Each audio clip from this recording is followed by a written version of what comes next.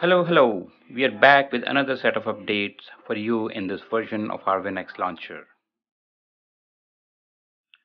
At the end of the video, we will have a trivia question for you regarding the WinX launcher, so please stay tuned till the end. In this version, we have moved the location of About page button. It used to be on the Start panel before, but now it is under the Power menu. Update number 2. If you are a premium user, you can hide the button to the subscriptions. To do that, you go to the settings page. Under premium settings, you go at the bottom and you can turn off this option. Once you do that, the subscription button is no longer visible to you on the start panel. In this version, we have also enhanced the greeting section and made it more dynamic.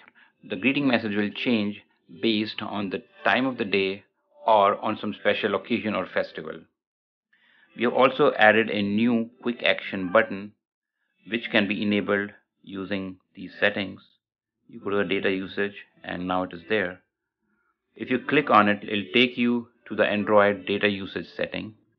If you are an existing user of WinX Launcher, you will notice that in this version, if you are in a Win11 mode, the quick action button's layout is slightly changed and it resembles more closely to the Windows 11. We have also tweaked the algorithm to display the notifications so you will see it more precise and some redundant notifications are not displayed here anymore. Time for the trivia question. If I hide an app, where do I find it now? For the users who are not familiar with the WinX launcher, I'm going to show it to you. So you go to the settings and then you go to the apps settings and all the hidden apps are displayed in this section. To unhide the app, you can just go here and then click on unhide the app. Once you do that, this app will be back to the pinned section.